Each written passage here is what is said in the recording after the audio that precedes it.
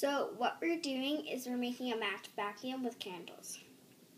So the first thing you do is you take the six ounces of water and you drop two drops of food coloring into it. One, two. Then you take a small spoon and you mix it around.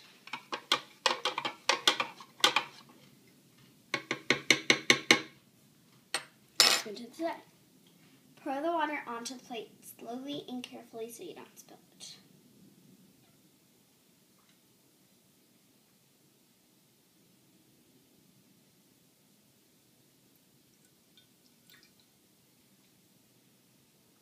Then put a, can- a candle in the middle of the plate. Next, light it. Get a parent to do that.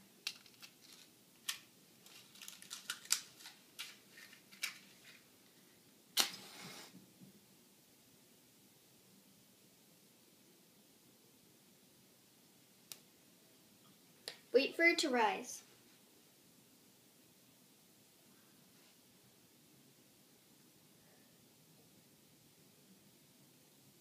See that side up?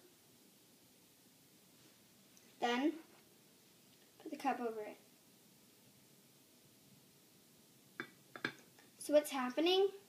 So the fire is consuming the air inside the cup. So there's less air inside the cup than the outside, which pulls the water up. You can see a little bit of it. It's rising. When you do it with more candles, like two or three, you'll get bigger results.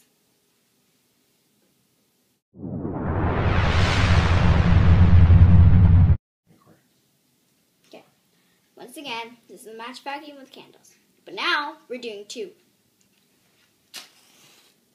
Again, light the matches. Wait for them to rise. And that one's good. It just needs to rise. And then put the cup over. Now you're going to get stronger results. You see how much more was pulled up than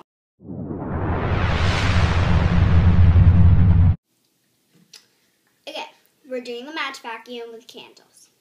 This time three. Light the matches.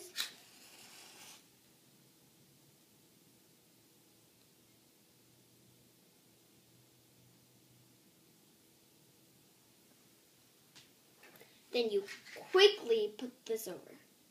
Put the over.